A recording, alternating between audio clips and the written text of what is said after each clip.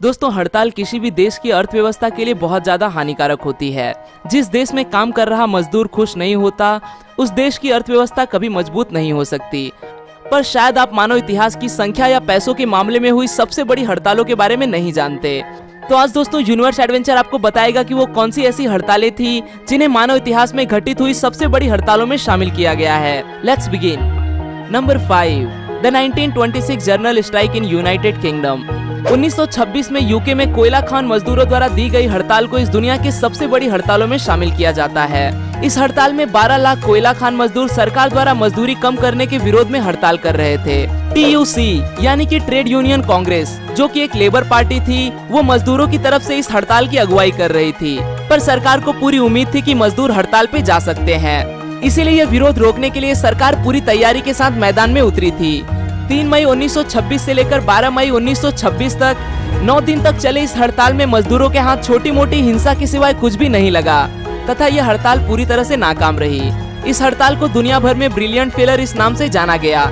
इसके बाद टीयूसी के नेता का कहना था, हालाँकि हम हार गए, पर जिस तरह से इतनी भारी संख्या में मजदूर इकट्ठा हुए थे, मजदूरों को उनकी ताकत का अंदाज़ा हो गया है। Number four 1934 textile workers strike.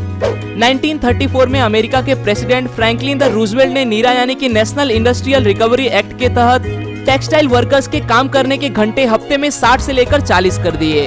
पर मिल मालिकों ने मजदूर जितने माल का 60 घंटों में उत्पादन करते थे, उतने ही माल का उत्पादन 40 घंटों में करने की सख्ती करने लगे। इसी वजह से मजदूरों की हालत बद से बदतर होती चली गई। आगे जाके मजदूरों की संगठना पंद्रह हज़ार से लेकर ढाई लाख इतनी बड़ी हो गई। 1934 में इस संगठन ने तीन मांगे मिल मालिकों के सामने रखी। पहली हमारी यूनियन को पहचान मिले।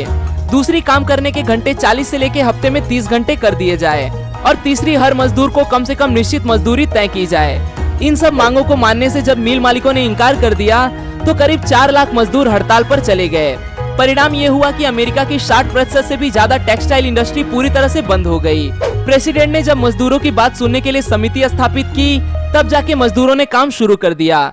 इतना होने के बावजूद मजदूरों के हाथ कुछ खास नहीं आ पाया। Number three 1959 USW steel strike. उन्नीस सौ उनसठ में अमेरिका की स्टील कंपनियाँ मुनाफा कमाने के मामले में उफान पे थी। यूनाइटेड स्टील वर्कर्स यूनियन, जिन्हें यूएसडब्ल्यू भी कहा जाता है, मजदूरों की इस संगठना का कहना था कि मजदूरों का वेतन बढ़ाकर इस फ़ायदे का एक हिस्सा उन्हें भी दिया जाना चाहिए। पर स्टील कंपनी के मालिकों की कुछ शर्तें थी जिन्हें यूएसडब्ल्यू ने मानने से इनकार कर दिया। जैसे ही कॉन्ट्रैक्ट समाप्त हो गया, पाँच लाख मजदूरों ने हड़ताल शुरू कर दी। दोनों ही पक्षों ने अपनी अपनी तरफ़ से समझौते करने की कोशिश की, पर सब कुछ नाकाम रहा।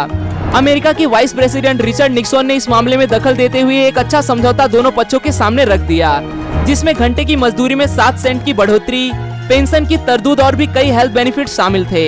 एक महीने की हड़ताल के बाद आखिरकार ये समझौता दोनों पक्षों ने मंजूर कर लिया, जिसकी वजह से अमेरिका की सबसे बड़ी हड़ताल का अंत हो सका। Number two 1974 railway strike India. 8 मई 1974 में 17 लाख से भी ज़्यादा भारतीय रेलवे कर्मचारी हड़ताल पर चले गए। उनका कहना था कि काम करने का समय 8 घंटे से ज़्यादा ना हो, तथा उनके वेतन में बढ़ोतरी की जाए। हालाँकि भारत स्वतंत्र होने के बाद उनके वेतन में समय समय पे बढ़ोतरी की गई थी, पर वेतन बढ़ाने और काम करने की व्यवस्था अंग्रेज़ों की जमाने की हुआ करती थी। इसी व्यवस्था को बदलने के लिए 70 प्रतिशत से भी ज़्यादा रेल कर्मचारी हड़ताल कर रहे थे। पर सरकार ने उनकी ये मांगे ठुकरा दी। हज़ारों लोगों को जेल में डाल दिया गया तथा कई लोगों को अपनी नौकरी से हाथ धोना पड़ा। बिगड़ते हालात को देख ये हड़ताल 27 मई 1974 को पीछे ले ली गई। 20 दिन तक चली ये हड़ताल पूरी तरह से नाकाम हो गई। संख्या के हिसाब से देखा जाए तो ये उस वक्त की सबसे बड़ी हड़तालों में से एक थी। Number one, Indian general strike of 2016 2 सितंबर 2016 को भारत में 15 करोड़ से ज़्यादा पब्लिक सेक्टर में काम करने वाले मजदूरों ने 24 घंटों के लिए देशव्यापी हड़ताल की। प्रधानमंत्री श्री नरेंद्र मोदी जी के पब्लिक सेक्टर के निजीकरण तथा और भी कई पॉलिसीज़ के विरोध में यह हड़ताल की गई थी, जिसमें पब्लिक सेक्टर में काम कर रहे मजदूरों का न्यूनतम वेतन पंद्रह हज़ार हो ये मांग शामिल थी। 24 घंटे तक चले इस हड़ताल ने भारतीय अर्थव्यवस्था का करीब 1800 करोड़ रुपए का नुकसान कर दिया। दुनिया में ऐसा पहली बार हुआ था कि 15 करोड़ से भी ज़्यादा लोग एक ही हड़ताल में शामिल हो। आज के लिए दोस्तों बस इतना ही। आशा करता हूँ आपको यह वीडियो पसंद आया होगा। अगर वीडियो पसंद आए तो उसे लाइक करना न भूलें। और आप इस वीडियो के बारे में क्या सोचते हैं वो मुझे कमेंट में ज़रूर बताएँ। फिर मिलूँगा दोस्तों एक नए वीडियो के साथ में। तब तक के लिए नमस्कार।